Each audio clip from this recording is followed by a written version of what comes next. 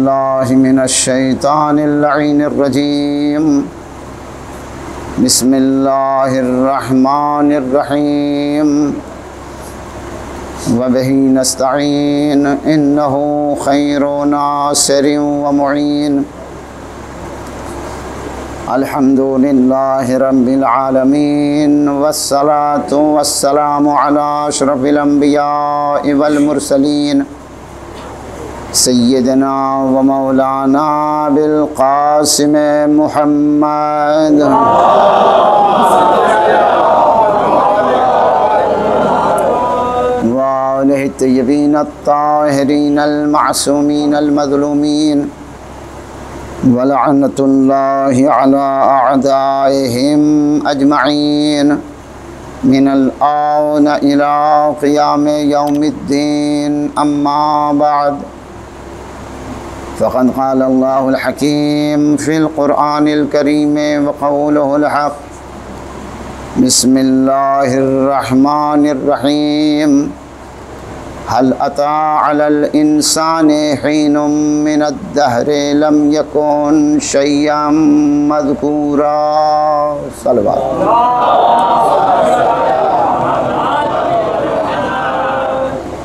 गुजारिश है, एक मरतबा सूर हम, तीन मरतबा सूर तोहद की तलावत फरमा कर मरहुमा कनीस फ़ातिमा बिनते अलमदार हुसैन मरहूम की रूह को बख्श।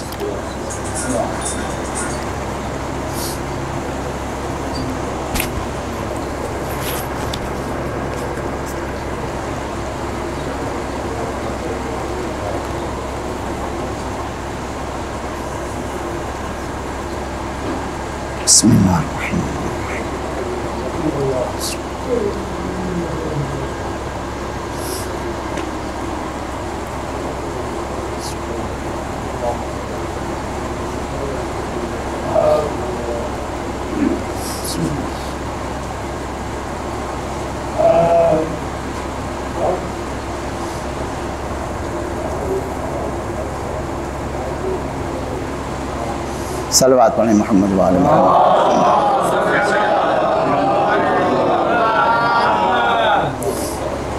सूर दैर की यह करीमा है, जिसकी तलावत का शरफ हासिल किया है।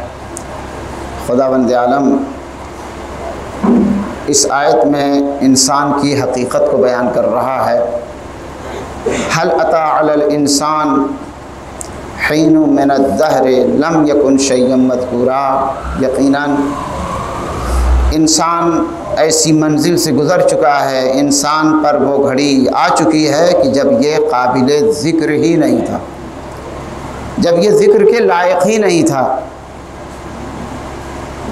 और उसके बाद खुदा ने इंसान की खिलकत का ज़िक्र किया है। इन्ना खलकनल इंसाना मिन नुतफ़तिन अमशाज नबतलीह। हमने इंसान को मखलूत नुतफ़े से खल किया है और फिर मौरद इम्तहान करार दिया है। फजालना हो समीम बसीरा और फिर हमने उसको सुनने वाला भी बनाया और देखने वाला भी बनाया। ये इंसान की हकीकत है कि खुदा बंद आलम ने इस इंसान को काबिल ज़िक्र बनाया, वरना इंसान की हकीकत थी मगर काबिल ज़िक्र नहीं था। इंसान मिट्टी से बना है, इंसान आग से बना है, इंसान पानी से बना है, इंसान हवा से बना है। अनासिर अरबा जो कहा जाता है, वो अनासिर अरबा है कि जो यकजा किए गए तो उससे इंसान बना। आग, पानी, मिट्टी, हवा, इसी से हमारी खिलकत हुई है। और खुदा बंद आलम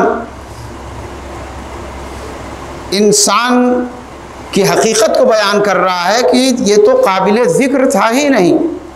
यानी खाक की शक्ल में था, यानी ये हवा की शक्ल में था, पानी की शक्ल में था, लेकिन जब तक इसको बतौर मखलूक इस कायनात में नहीं हमने भेजा, ये काबिल ज़िक्र नहीं हो पाया। जब तक हमने इसको इंसान नहीं बनाया, जब तक हमने इसको इस रूह ज़मीन पर नहीं भेजा, उस वक्त तक इस, ये काबिल ज़िक्र नहीं हो पाया।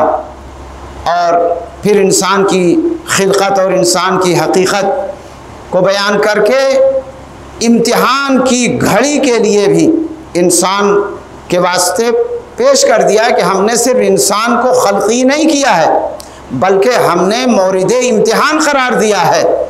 इसका मतलब यह है कि वो इंसान ही क्या है कि जो इम्तिहान और आजमाइश में मुबतला न हो? वो इंसान ही कैसा कि जिसकी आजमाइश न हो? वो इंसान ही कैसा कि जो तरह तरह की आजमाइशों में मुबतला न हो? आजमाइशों में मुबतला होना कोई दिक्कत की बात नहीं है। असल कमी और परेशानी वो होती है कि जब इंसान इम्तिहान में मुबतला होता है और इम्तिहान के बाद नाकाम हो जाता है। नाकामी से बचना ये इंसान की ज़िम्मेदारी है। इम्तिहान के मौरद में आना, मौरद इम्तिहान करार देना मौरद आजमाइश करार देना, ये कोई परेशानी की बात नहीं है। इंसान उतना ही ज़्यादा उसके अंदर निखार पैदा होता है जितना वो आजमाइश में मुबतला होता है। जब तक इम्तिहान में मुबतला नहीं होता, उस वक्त तक इंसान के अंदर निखार पैदा नहीं होता। और लफ्ज़ बदल के कह दूँ कि जो बच्चा कभी स्कूल का मुँह देखे ही ना हो, उसे इम्तिहान का क्या खौफ होगा? जो कभी पढ़ने गया ही ना हो, उसके लिए इम्तिहान की कौन सी बात है? इम्तिहान तो वही देता है कि जो स्कूल जाता है। इम्तिहान तो वही देता है जो पढ़ता है। इम्तिहान तो वही देता है जो मोरिदे आजमाइश वही करार पाता है जो दुनिया में किसी तरह से वो इल्म हासिल करता है। और अगर वो स्कूल ही ना जाए इल्म ही हासिल न करे तो उसका इम्तिहान ही कोई नहीं है। इसका मतलब यह है कि जिस इंसान को ज़्यादा आजमाइश से गुजरना पड़े, उसे तो खुश होना चाहिए कि अल्लाह ने हमें इस लायक बनाया है कि हम इम्तिहान में मुबतला हो रहे हैं। एक सलवात पढ़िए मोहम्मद वाल मोहम्मद।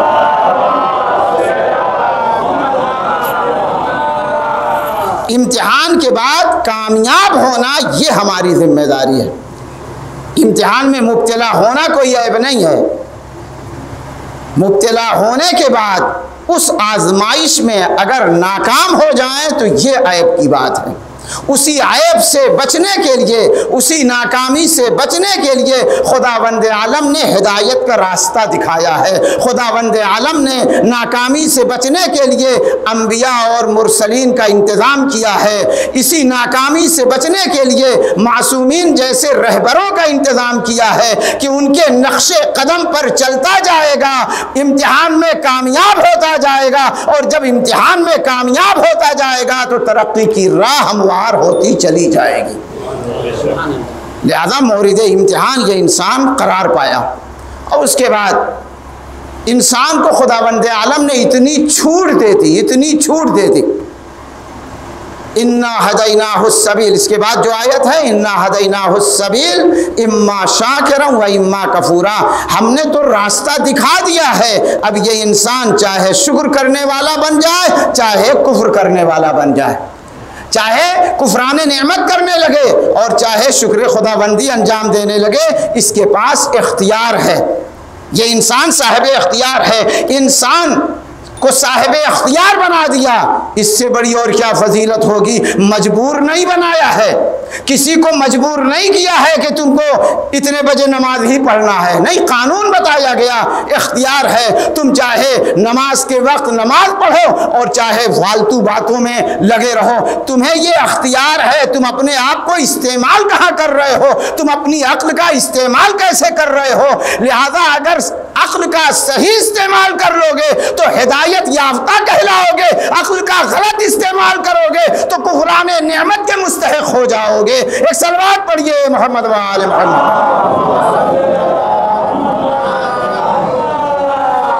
तो इंसान की हकीकत यह कि हमको मजबूर नहीं बनाया है, बल्कि साहिब अख्तियार बनाया है, फ़ाइल मुख्तार बनाकर हम सबको इस रूए ज़मीन पर पेश कर दिया है, हमें अल्लाह ने खल कर दिया है। अब ये इंसान अगर कानून की पाबंदी करेगा इख्तियार की बुनियाद पर, मजबूर नहीं।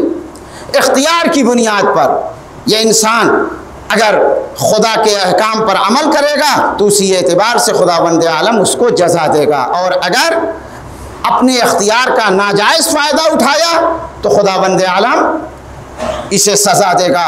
दोनों कि राह हमवार है। मरने के बाद दोनों के रास्ते अलग अलग हैं। इस दुनिया में तुमको क्या अंजाम देना है?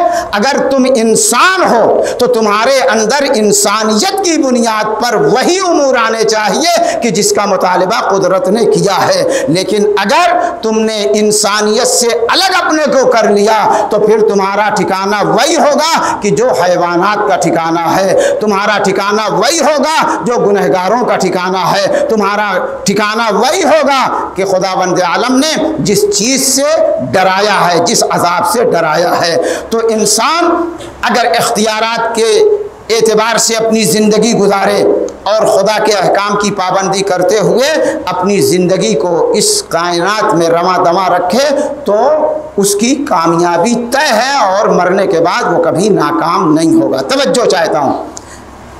ये मुख्तसर सी तमहीद के बाद जब खुदा बंद आलम ने हमें साहिब अख्तियार बनाया अच्छा और बुरा समझने के लिए खुदा बंद आलम ने हमें अक्ल दी। मुतालबात जो हमसे जो किए, वो भी हमारी अक्ल की बुनियाद पर किया है। क्या चीज़ सही है, क्या चीज़ गलत है, उसे परखने के लिए हमें क़वत अक्ल से नवाजा। जब हमें क़वत अक्ल से नवाजा तो हमको ये सोचना है कि अपनी अक्ल की बुनियाद पर कहीं ऐसा न हो कि हम राह खुदाबंदी से हट कर राह शैतनत में गिरफ़्तार हो जाएँ और उस राह शैतनत पर चलने की बुनियाद पर ये दुनिया हमारे लिए खसारा का साम, सामान बन जाए ये दुनिया हमारे लिए नुकसानदेह साबित हो जाए उससे बचने के लिए हमें अक्ल दी है और उस अक्ल को इस्तेमाल करने का हुक्म दिया है। ऐसा नहीं है कि हाथ पे हाथ रखे बैठे जाओ बैठे रह जाओ और अपनी अक्ल का इस्तेमाल मत करो। नहीं खुदा बंद आलम ने अक्ल का इस्तेमाल करने का हुक्म दिया है। अब ये इंसान है कि जो अपने आप को इंसानियत के दायरे से हटाकर अपने आप को हैवानियत के दायरे में पहुँचा देता है। कुत अखल की बुनियाद पर खुदा बंद आलम हमें इंसान बनाकर भेज रहा है। लेकिन हमने अक्ल का गलत इस्तेमाल करके अपने को इंसानियत के दायरे से निकालकर, हैवानियत के दायरे में लाकर खड़ा कर दिया है। और खुदा बंद आलम, इसी जगह हमारा इम्तिहान ले रहा है कि हमने तुमको अक्ल दी है। उस अक्ल की बुनियाद पर तुमने अपने को इंसान ही रखा या इंसान से हटा के तुमने अपने आप को हैवानियत तक पहुँचा दिया। याद रखें, मुतालबात हैवानात से नहीं है। मुतालबात इंसानों से हैं और इंसानों में भी अक्ल जिनके पास है, उन्हीं उन्हीं से मुतालबात हैं। इंसान जो दीगर मखलूक़ से जुदा है, वो इसी अक्ल की बुनियाद पर जुदा है, वरना ताकत तो हमसे ज़्यादा जानवरों में हुआ करती है। कुवत और ताकत तो हमसे ज़्यादा हैवानात में है।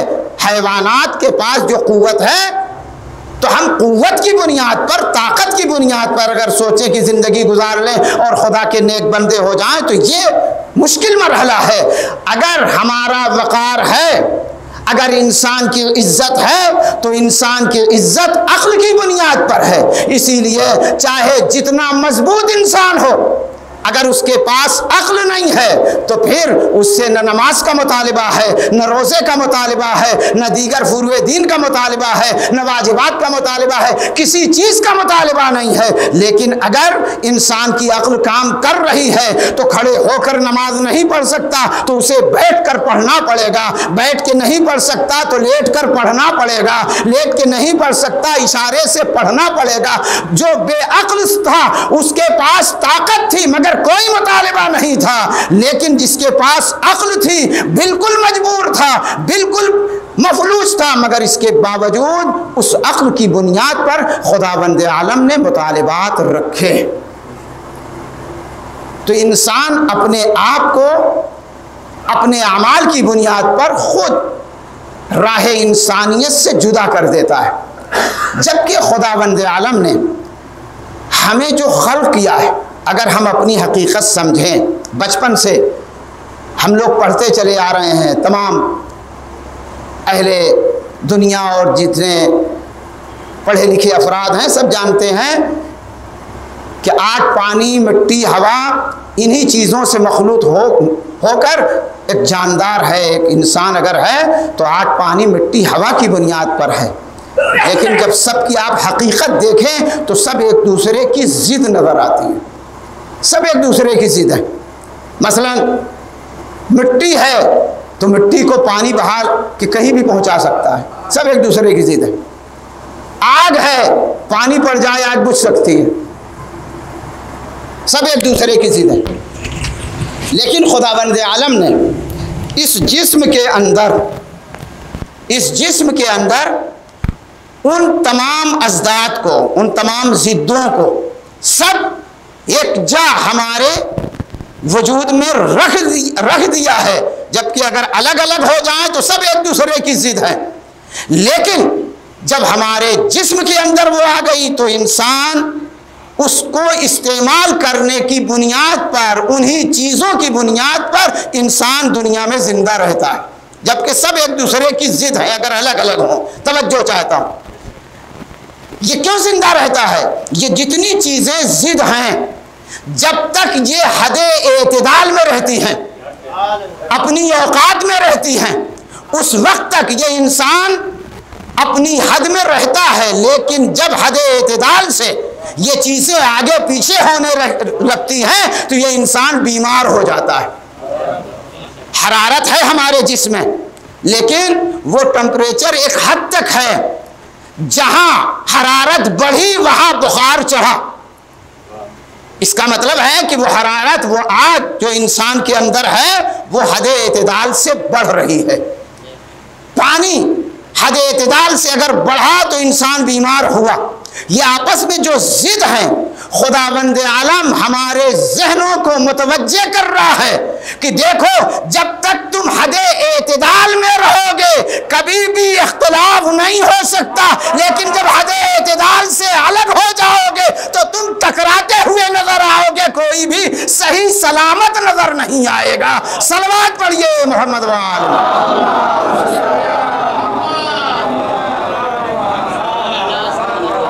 जब हद एतदाल से ये इंसान इधर से उधर होता है। अच्छा कोई नहीं चाहता कि हम हद एतदाल से।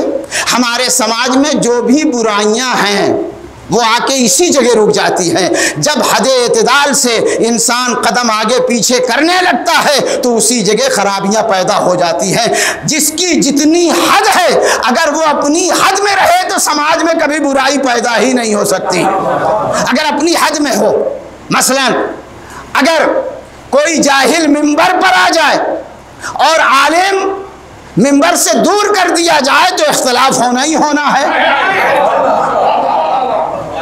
क्यों? इसलिए कि हद एतदाल से दूर हो गया। मसलन एक अच्छा नौखा खां हो, उसको किनारे करके और जिसकी आवाज़ बिल्कुल ख़राब हो, उसको खड़ा कर दो। तो पूरा मजमा नाराज़ हो जाएगा। इसलिए कि हद एतदाल सबकी हद है। जो एक अच्छा शायर हो, उस शायर की जगह ऐसे को बता दो कि जो सोलह के बजाय सत्रह, अठारह बहर जानता हो। फिर क्या आलम होगा? इसका मतलब यह है कि जब इंसान हद एतदाल में रहता है तो कभी भी टकराव नहीं होता, कभी भी इख्तलाफ नहीं होता।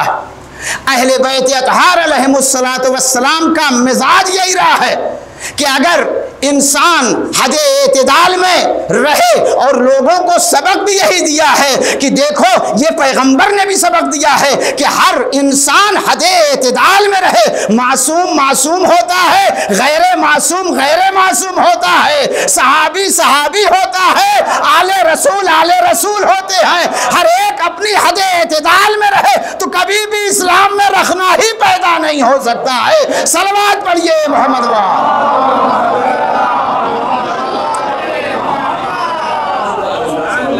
इंसान की जो परेशानी है, वो यही है कि हद एतदाल से दूर होने लगता है। हद एतदाल से जब कदम आगे पीछे होने लगता है, तब उसके यहाँ समाज में ख़ास तौर से ये खराबियाँ हमारे माशरे में जो भी है, उसी हद एतदाल पर अगर कायम हो। मसलन, खलूस के साथ जुलूस अज़ा के लिए हुक्म दिया गया।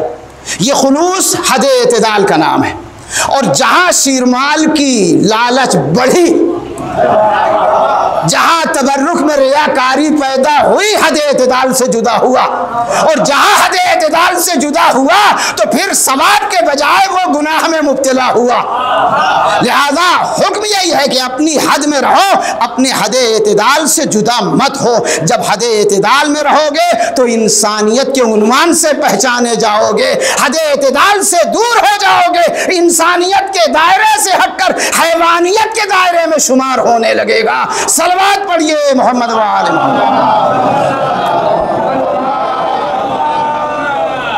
और ये बात गोश गुजार रहे, कोई आदमी ये नहीं चाहता है कि हम हद अतदाल से दूर हो जाएँ। हर आदमी चाहता है कि हद अतदाल में रहें।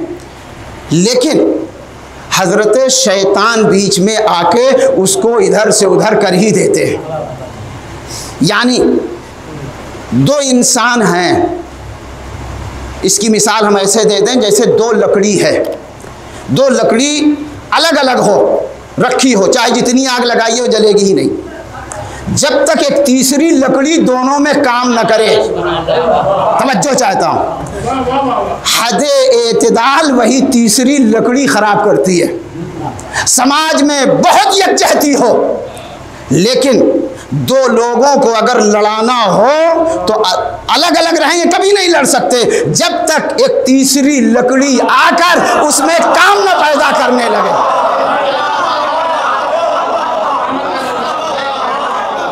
अब ये तो खुद तजिया करिएगा। दो लकड़ियाँ अलग अलग हों, कभी नहीं जलेंगी। सुलग सकती हैं। सुलग सकती है, मगर जलेंगी नहीं। ये सुलगती हुई लकड़ियाँ जब अलग अलग हैं, जलेंगी नहीं। उसी वक्त जलेंगी, जब तीसरी लकड़ी आके दोनों में आग लगाने लगे।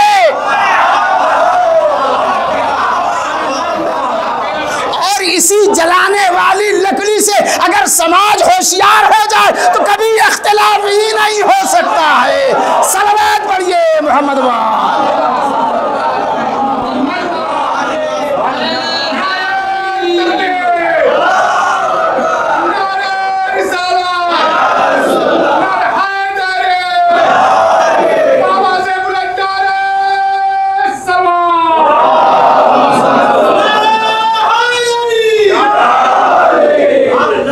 अजीज़ान मोहतरम ये मैंने मिसाल ज़रिए से समझाया, इसी का नाम है मुनाफ़त इसी को शरीयत में निफाक कहा गया है कि जो इधर भी काम करे, उधर भी काम करे।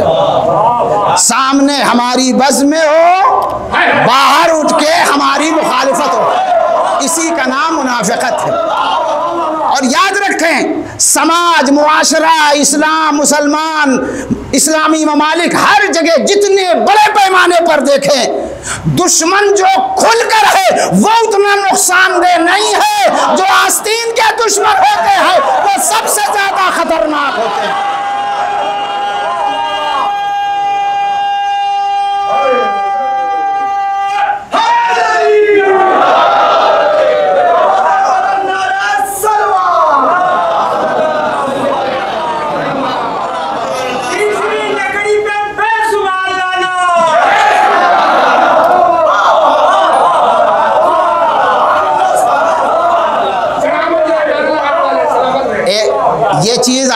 में रखिए कि कोई किसी को मोरिद निगाह ना बनाएगा। ये एक मैं उमूमी बात पढ़ रहा हूँ। अब ये अलग बात है कि जहाँ नसीब रहता है, पानी जाता है है, वो अलग मसला है। लेकिन कोई मोरिद नज़र नहीं है। ये आप जहन में रखिएगा। अज़ीज़ अजीज़ान ग्रामी, खुदावंद आलम ने जब हद अतदाल में रहने के लिए हुक्म दिया है और हमें अक्ल दी है तो उस अक्ल को इस तरह से इस्तेमाल करें कि हम किसी के बहकावे में ना आए।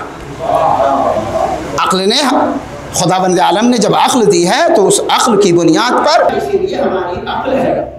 की बुनियाद वरना जहाँ जहाँ दुनिया में हर जगह नबी नहीं पहुँचे, हर जगह इमाम नहीं पहुँचे, मगर जहाँ नहीं पहुँचे मतलब हिंदुस्तान में कहा जाए कि बुज़ुर्ग तो मदीने में थे, मक्के में थे, हिंदुस्तान में तो नहीं आए थे। हिंदुस्तान वाले क्या करें?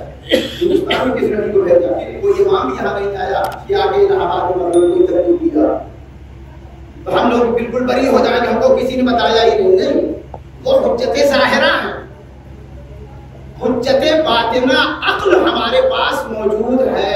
अक्ल की बुनियाद पर, इस हुज्जत बातिना की बुनियाद पर हम हक और बातिल में फैसला कर सकते हैं। हक और बातिल के दरमियान फ़र्क कायम कर सकते हैं। इसलिए हम सब की ज़िम्मेदारी है कि हम अपनी अपनों का सही इस्तेमाल करें। हम लोगों के लिए जो ज़्यादा मुसीबत है इस दौर में हम लोगों के लिए मुसीबत है कि मसलन अगर नमाज़ पर हमने मजलिस पढ़ी तो जितने बेनमाजी फ़ौरन नाराज़ हो जाएँगे। अगर पर्दे में पढ़ दिया जहाँ जिनके घर में बेपर्दगी है वो फ़ौरन कहेंगे आज हम ही तो आगे बैठे थे इसलिए ये परेशानी हम लोगों के लिए है। लेकिन हकीकत ये है कि अगर अक्ल का इस्तेमाल करे तो ना फिर तो मोमिनीन में झगड़ा करा सकता है और ना कोई लड़ सकता है। और इसी तरह से अगर अक्ल का इस्तेमाल हो तो दूसरे के बहकावे में भी नहीं आ सकता।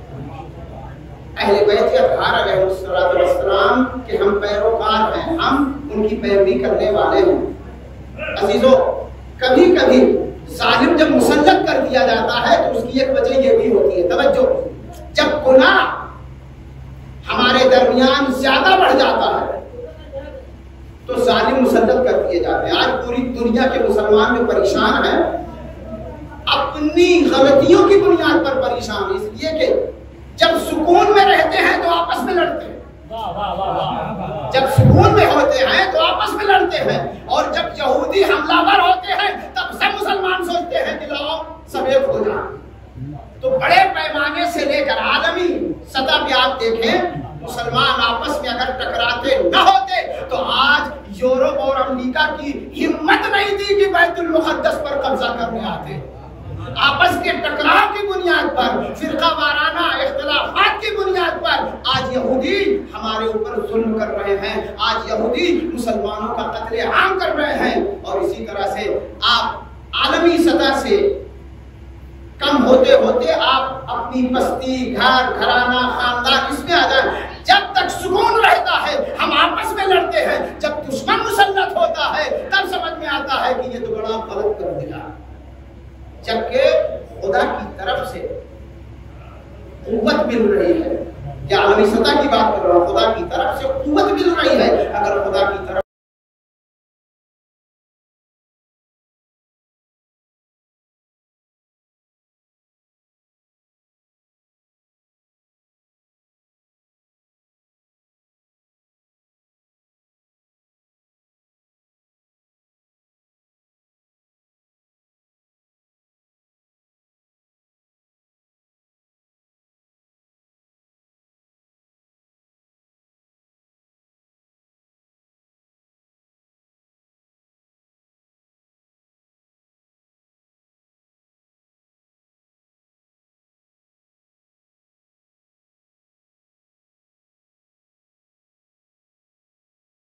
लिए भी पसंद करें आज हम खुश हैं कि हम अच्छा अच्छा खाना खा रहे हैं। लेकिन फिलिस्तीन के मजलूमी लेकिन जब इंसान के अंदर जरा सा भी होश आता है जरा सा भी होश आता है, सिर्फ़ इस साल मुहर्रम से पहले से इसराइली प्रोजेक्ट पर जो पाबंदी लगी, तमाम मुसलमानों ने नहीं लगाई है, कुछ मुसलमान लगाए, कुछ सबने नहीं लगाया। और इस पाबंदी की बुनियाद पर कि हम मुसलमानों के दुश्मन, इसराइल के प्रोडक्ट को हम नहीं खरीदेंगे। यकीन जाने, एक दिन मैं न्यूज़ में देख रहा था, लाखों, कई लाख डॉलर का उन कंपनियों को नुकसान हो चुका। इसका क्या मतलब है? यानी अगर आज भी मुसलमान होश में आ जाए पर अपना तसल्लुत कायम कर सकते हैं। लेकिन ये मुसलमान आपस में लड़ना ज़्यादा पसंद करते हैं। आलमी सतह पे अपनी हकीकत को नहीं पहचानते। बस ज़्यादा वक्त लेना मुनासिब नहीं। हम अहल बैत की पैरवी करने वाले हैं, अहल बैत को मानते हैं, कुरान को मानते हैं। हम लोगों के लिए तो बदनसीबी ये है। खसूसन हम मसल के तशैयों के मानने वालों से मजलिसी अफराद, अहल बैत के चाहने वालों से, ये मेरा खिताब। बदनसीबी हम लोगों की ये है कि पूरी दुनिया में मजहबी प्रोग्राम जितना शियों का होता है, किसी का नहीं होता। पूरी दुनिया की बात कर, जितने भी फिरके हैं, जितने भी मज़हब हैं, जितना मजहबी प्रोग्राम हमारे मसलक में है, किसी मसलक में इतना प्रोग्राम नहीं है।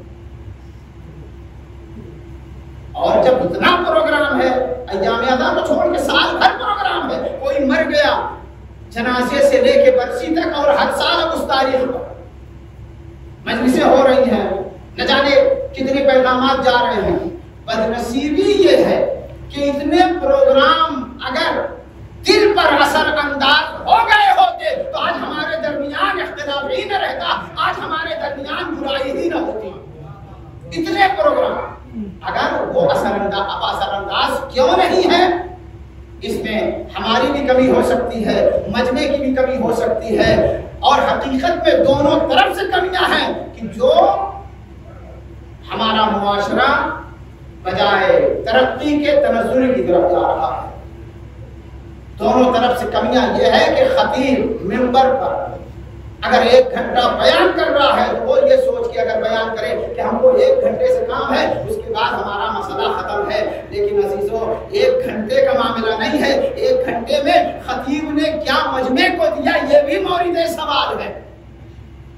एक घंटे में क्या मजमे को मिला? और मसला एक घंटा नहीं है, अगर सौ लोग बैठे हैं तो एक घंटा नहीं है, बल्कि सौ घंटे का हिसाब देना पड़ेगा। इसलिए कि लोगों का एक एक घंटा दिया गया। सौ लोगों का एक एक घंटा दिया गया है। सब मौलिक सवाल ठहरेंगे। इसलिए कि खतीब ने जो बयान किया है वो भी मौलिक सवाल ठहरेगा। और खतीब ने जो बयान किया, मजमे ने कितना उस पर अमल किया है, वो भी मौलिक सवाल है। इसलिए हर इंसान की ज़िम्मेदारी है कि अपनी ज़िम्मेदारी निभाए। अहले बैत ने ये जो कुर्बानियाँ पेश की हैं, मैंने इससे पहले भी मैंने इशारा किया था कि अहले बैत की कोई प्रॉपर्टी की लड़ाई नहीं है। ज़मीन जायदाद का मसला नहीं है। उनके सदक़े में तो पूरी दुनिया खर्च हुई है। वो किस खेत बाड़ी के लिए लड़ाई करेंगे असल तहफुज शरीयत का मामला है। इसलाह मुआशरा का मामला है। इसलाह उम्मत पैगंबर का मामला है। इसलिए इमाम हुसैन इतनी बड़ी कुर्बानी पेश करते हैं। हमारे आंसुओं के मोहताज इमाम हुसैन अलैहिस्सलाम नहीं हमारी मजलिसों और हमारे तबर्रुक और हमारे जुलूसों के मोहताज इमाम हुसैन अलैहिस्सलाम नहीं है। और माफ़ कीजिएगा, हमारे जो जुलूस भी हैं, ये हम अपने मुआशरे की बात कर रहे हैं। ज़्यादातर तो मन्नती जुलूस है। जब हमारी मन्नत पूरी हो जाती है तो अलम निकाल दिया, हमारी मन्नत पूरी हुई तो मजलिस कर दिया। जब मन्नत पूरी हुई अपना काम जब पहले कर लिया तब मौला को याद कर रहे हो। बगैर काम पूरा किए मौला को याद करो तब कमाल है। तो मन्नत मान के मौला को याद कर इसलिए खुलूस होना चाहिए। इसलिए इमाम हुसैन की कुर्बानी का अगर तस्करा हो रहा है तो कुर्बान इमाम हुसैन का हदफ और मकसद समझना इसलाह उम्मत पैगंबर के लिए इमाम हुसैन अलैहिस्सलाम ने इतनी अजीम कुर्बानी पेश की है बस इमाम हुसैन अलैहिस्सलाम करबला तक आ गए। लेकिन बहुत से लोगों को ये पता ही नहीं था कि फरजंद रसूल को करबला में बुलाया गया है। और शहादत के बाद बहुत से लोगों को पता ही नहीं चला कि इमाम हुसैन सरफंद रसूल कत्ल किए गए। हत्ता खुद यजीद की जौजा को पता नहीं था। यजीद कातिल है फिर तो पता नहीं है कि कत्ल कौन किया गया। ऐसे हालात है बस। एक वाक्य इंशाल्लाह आप साल होंगे और सहमत तमाम, इमाम हुसैन अलैहिस्सलाम के पास कई कनीजें थी जब जनाब शहरबानो अपने आई है तो उसमें कनीजों को आज़ाद किया। उसी में शीरी एक कनीज थी जो ईरान से आई हुई थी। उसको भी इमाम हुसैन अलैहिस्सलाम ने आज़ाद कर दिया और आज़ाद ही नहीं किया है, बल्कि अस्कलान के एक शख्स के साथ जनाब शीरी का अक्ट भी कर दिया। और अस्कलान के करीब में वहाँ एक पहाड़ी पर महल है उसका। वहीं पर वो ज़िंदगी गुजार रहे जब इमाम ने रोशन किया तो शीरी इमाम के घर से जाते वक्त रो रही है आपने रोशन किया? शीरी ने कहा कि आका मैं आपसे एक ख्वाहिश करती हूँ कि आप मेरे घर तशरीफ़ लाए तो इमाम हुसैन ने फरमाया था कि शीरी, मैं वादा करता हूँ मैं अपने घर वालों के साथ तेरे घर मैं अपने घर वालों के साथ आऊँगा। मैंने वादा किया, शीरी को भी यकीन है कि मेरे ने वादा किया है, वादा खिलाफी नहीं हो सकती। शीरी, उस पहाड़ पर जो शीरी का किला या के नाम से मशहूर था के पास अस्कलान की तारीफ़ होती है। एक रोज शीरी थी क्या था हुसैन आए हुए अपने घर वालों के साथ आए हुए शीरी खाब से बेदार खाब से बेदार हुई शौहर को। आज फ़ौरन जाओ के बाहर जाओ पहाड़ से उतरो। मेरे आका को में मैंने आका को देखा है कि वो आए हुए हैं। मेरे आका का जो वादा है वो सच है, और आका को देख में जाओ शौहर जाता है देखा, कुछ लोग हैं, मगर उसकी समझ में कुछ आ रहा। कि कुछ बीबियाँ हैं जो खाट पर बैठी हुई हैं, कुछ दूर पर, कुछ सर हैं। वो समझ नहीं पा रहा है कि आखिर माजरा क्या है, ये कौन अफराद है? जब कुछ देर हो गई तो शीरी खुद महल से बाहर आ गए उसने जायजा लिया कि देखे कौन है? तो उसकी भी